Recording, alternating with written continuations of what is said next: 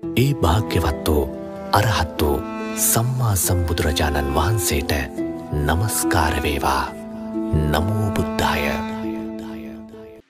හතර දෙනෙක් දුවන්න හොඳ නෑ කිව්වා. රාජාභරණයෙන් සැරසුන රජ්ජුරුව දුවන්න හොඳ නෑ. අසෝභනයි. මංගල ඇත් රජා දුවන්න හොඳ නෑ අසෝභනයි.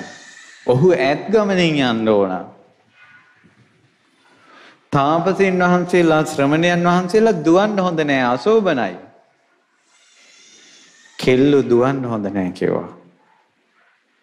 කියන බ්‍රාහ්මණවරුනි කෙල්ලන් දුවන්න හොඳ නැත්තේ හේතුවක් ඇතුව කිව්වා.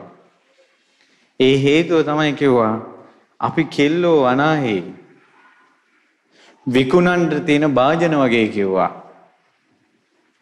විසාකා විකුණන්ට තියෙන භාජනයකට සීරීමක් ආවත් වටිනාකම අඩු වෙනවා කිව්වා.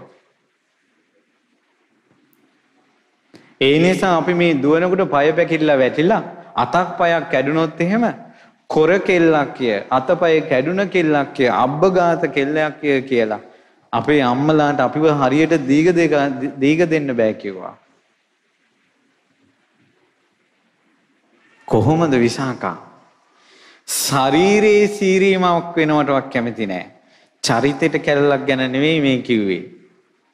විසාකා ශරීරයේ සීරීමක් සිදුවීම පවා දෙමව්පියන්ට නින්දාවක් විදියට නම් සලකන්නේ චරිතේ රැක ගැනීම ගැන කවර කතාද?